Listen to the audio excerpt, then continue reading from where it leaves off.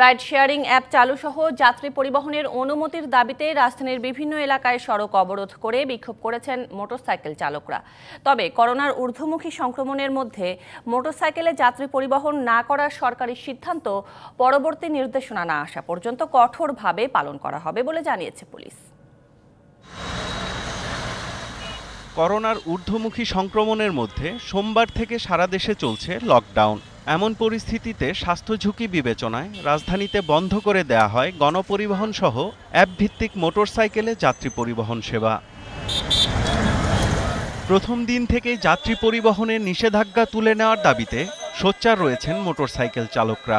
স্বাস্থ্যবিধি মেনে city corporation এলাকায় গণপরিবহন চালুর ঘোষণার পর তা আরও জোরদার হয়েছে। তো গাড়িতে যদি দুইজন ওটা নিষেধ হয় তাহলে বাসে চলতেছে সিএনজি চলে রিক্সা চলতেছে গণপরিবহন চলতেছে। আমাদের উপর এত নির্যাতন কেন? কল্যাণপুর থেকে উত্তরের দিকে যাইতেছিলাম।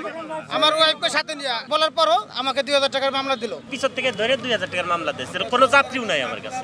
বুধবার সকাল থেকেই রাজধানীর শ্যামলী মগবাজার হাতিরঝিল সহ বিভিন্ন এলাকায় বিক্ষোভ করেন তারা। আমাদের পেটেও খিদে আছে। আমাদের রাইড শেয়ারিং না করলে পেটে ভাত ঢুকবে কীভাবে? রাইড শেয়ারিং এ তারা কিছুটা ছাড় দিছিল। কিন্তু এখন এই গত দুই একদিন তো আমার মানে ডাবল পাইলেই ধরতেছে এবং কি মামলা দিতেছে। আমাদের যদি একটা কামাই অবস্থা থাকতো তাহলে আমরা রাইড শেয়ারিং করতাম না। দুপুরে দাবি আদায়ে ডিএমপি কমিশনারের সাথে দেখা না পেয়ে কার্যালয়ের সামনে অবস্থান নিয়ে বিক্ষোভ করেন চালকরা। তারা এখান থেকে ফোন দিয়েছে কমিশনার স্যার বলছে যে করোনার জন্য আমরা কথা বলতে পারব না। আপনারা একটা লিখিত পাঠান। লিখিত ফিডব্যাক কখন দেবে তাও আমাদের কিছু বলবে না। তাহলে তো আমাদের এই আন্দোলনই ঠিক আছে। পরে সেখান থেকে বিক্ষোভরত মোটরসাইকেল চালকদের সরিয়ে দেয় পুলিশ। ঢাকার বিভিন্ন পয়েন্টে রাস্তা অবরোধ করে জনদুর্ভোগ তৈরি করে।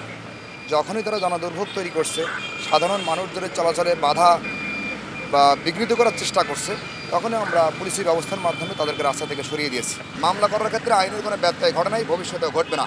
তবে করোনাকালীন সময়ে যে বিধিনিষেধ আসে এগুলো সবাইকে মানতে হবে।